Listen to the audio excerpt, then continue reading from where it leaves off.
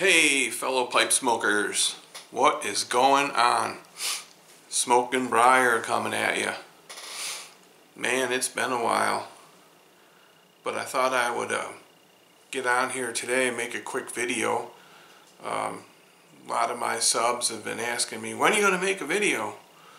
And uh, I know it's been a while, but um, I wanted to get on here just, just for a little bit today and uh, update you guys on what's going on with me and where I've been and where I'm going, all that stuff, and a few shout outs, a few things I want to show you. Um, a lot of you guys don't know, there's a few of you that do, but um, we decided to, um, at the end of, well, it was about the middle of April, um, we decided to move back to Florida. Um, and that pretty much makes it a full circle.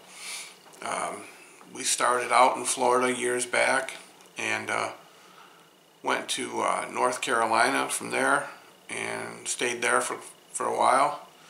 Um, that was nice. I enjoyed North Carolina, but the cost of living and the taxes and the lack of decent employment and just a bunch of other factors, um, you know, we decided to move. Uh, we went back up to Ohio for a while. Um, that's where we we stayed there for last year. Went through a, a real, you know, nasty winter, and I just hadn't seen a winter like that in quite a few years. Um, you know, we had some cold and snow in North Carolina. It wasn't too bad, um, but it was enough that I just didn't care for it. But when we went back up north further, it was even worse, and I just I couldn't take that cold and gloomy, dreary weather, and I said, that's, that's it, you know. I said, I'm just going back to Florida. And uh, so we came back to Florida. Um, we're just about an hour north of Tampa, right on the ocean, a little town called Crystal River, Florida. Um, a lot of manatees and things like that here.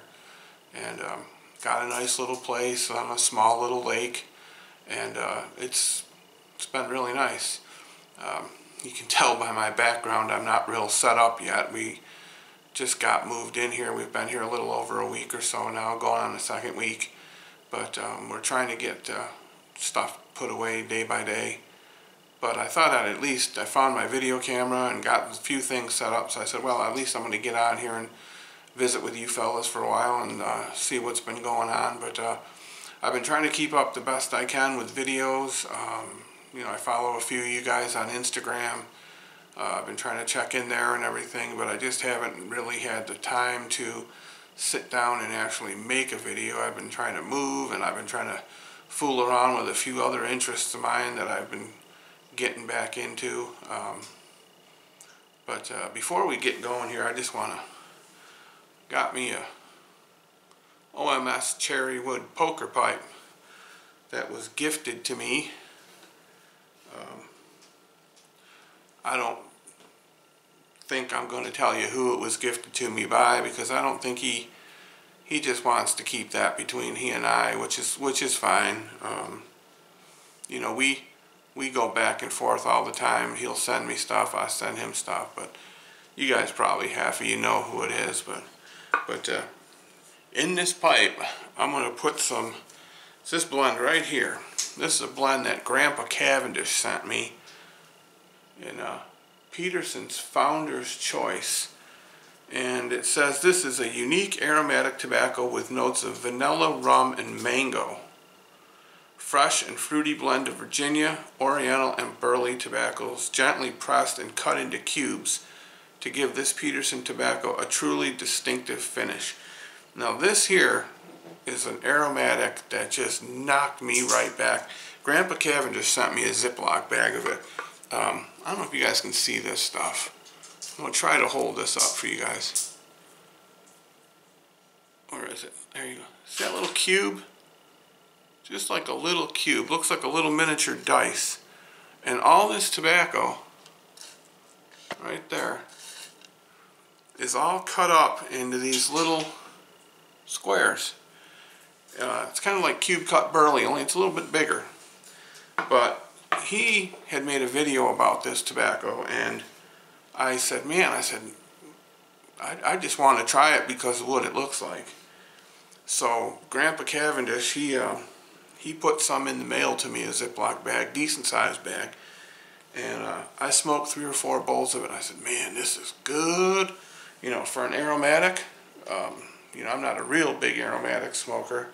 Uh, I do like my Boswell's aromatics, but I just, I, I guess after about the third bowl of this, I said, good Lord, I said, this is, this is some top, top shelf stuff right here.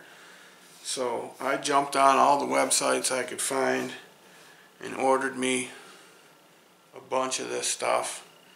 Um, I've got a bunch of tins like you just seen that aren't even open, but I just got this pipe load. This is my first smoke in this pipe. So this is a this is going to be a brand new pipe and a real good tobacco. Um, show it to you one more time just in case you're interested. Founder's Choice, big thick 100 gram tin. Cost you a $20 bill for it and uh, light it up.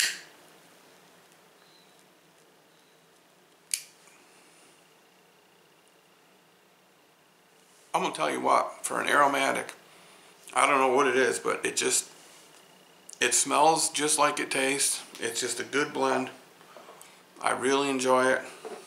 So if you're into aromatic tobaccos, and maybe even if you're not, this may be one you wanna you wanna give a chance because uh, it actually tastes, you know, and it's not all sticky and nasty and goopy like aromatics. It doesn't mess up your pipe. Matter of fact, this is one of the few tobaccos I've had. It's an aromatic that smoked right down to the bottom of the bowl in a nice white ash, and, and I was, I'm not used to that. I'm used to having that wet, nasty, goopy mess in the bottom of the bowl. But this just didn't do it. This was a good blend. But uh, I'm going to talk to you guys about a couple of things too, as long as I'm here. Um, I'm going to talk to you especially about a couple of channels. Um, if you get a chance, I'm going to put the links to these channels right in the bucket.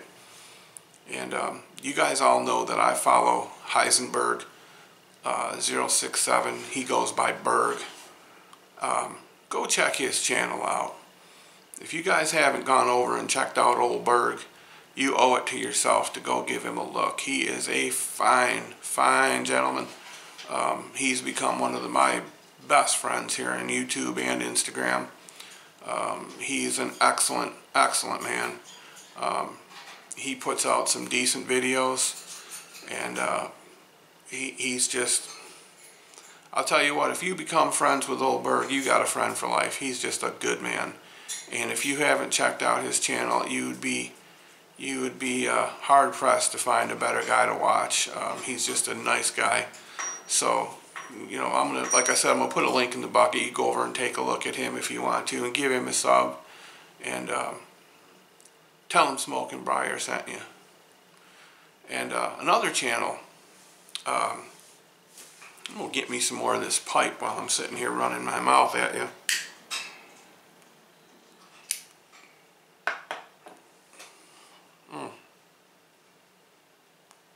Man, that's a good blend. Uh, another channel I want you to take a look at if you want to is 1972 Woodsman. Again, I'll drop a link right in the bucket. A lot of you guys in the pipe community um, may or may not remember um, his old channel. Um, he's been gone for a while and he used to be you know strictly in the pipe community making pipe videos and he now has a channel that has hunting videos, fishing videos, pipe smoking videos. Um, he does a lot of work with, uh, you know, uh, wood, woodcraft, wood, you know, woodsman stuff. Uh, he does uh, axes and knives and and woodworking and just carpentry work. He's he's got he's got his hands into everything. He's a very talented fella. Um, he, he does a lot of things. Um, he recently got me back into shooting uh, a bow and arrow. Um, I used to shoot a lot of archery when I was younger. Quite a bit of it, but because of, you know, some of my health issues, I figured I'd never be able to do that again. And I'd watched a couple of his videos that he made about, um, you know, shooting his bow, and I said, man, I, said, I sure wish I could do that. You know, I used to love doing that, and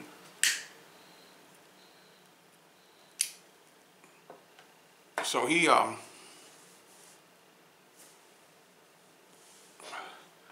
he got talking to me, you know, and we exchanged emails, and he said, there ain't no reason you can't, you know. And he started talking to me about these new bows and new, you know, all this new archery equipment, and I got interested in it, so I went up to the local shop here where I just moved to, and those guys are, they got a really good shop. I was lucky enough to have a good shop with a lot of experienced people in it. And uh, yeah, I got right back into it, and I, I didn't realize I could even shoot anymore, so I've been spending some time doing that and getting, bought a new bow and got that set up, but but uh, his name is Eric. Um, he helped me all the way, set me up, got me going in this stuff, and uh, he's just become a real good friend. Like I said, I knew him years ago, and um, we used to argue back and forth about Christianity all the time. And uh, back in those days, he he uh, he wasn't a Christian, and I used to get on him. Boy, I said, "Man, you better get with the Lord." I said, "Cause you know, and we used to go back and forth, and and uh, but uh, he he he just become a he, he was a Christian before for many years, and he he finally turned back to to to the Lord, and uh, he became a good Christian again, and and he made a few videos, you know, about that, and and he, you know he's just a good man. He's a good family man, and I'd I'd really like you. I'd really appreciate it, guys, if you'd go over and look at his channel, uh, 1972 Woodsman. I'm gonna put that link right here. He actually uh, he made me this this uh, cross right here. He carved this for me by hand, put it on a nice leather cord for me, and uh, he wears one of these. And I said, boy, I said I would be I would be honored if you would uh, make me one of those, you know. And I offered to get it from him, and he he said, I'll carve you one and send it to you. So he just sent it to me free of charge. But he does make these things, and he does a lot of work on uh, axe heads and blades and sharpening and stuff. And, and uh, you know, he, if you guys are into that kind of thing, he, he does it professionally. So, um, you know, just, just go check him out. I think you'll find something on his channel that you like because he's just a very, like I said, he's a talented guy. He's into everything. So if you give him a look, it would be a, I'd consider that a personal favor to me. Um, but yeah, things are going good um, down here in Florida now. Just it's getting towards the hot season, but um, I really like it. Um, Want to give a shout out to uh, Pipes and Pipes and Kayaks, Brad. Um, I'm sure most of you guys know his channel. If not, I'm going to drop a link to his channel too. Um, Brad's a great guy, and he just did his first kayak video of the year.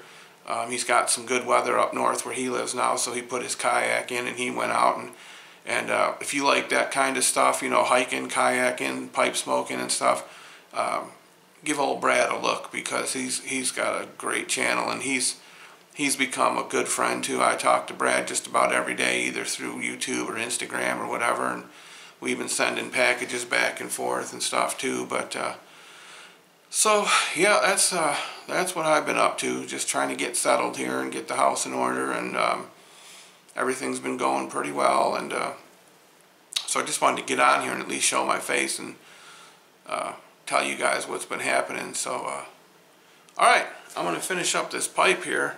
Been doing too much talking and not enough smoking,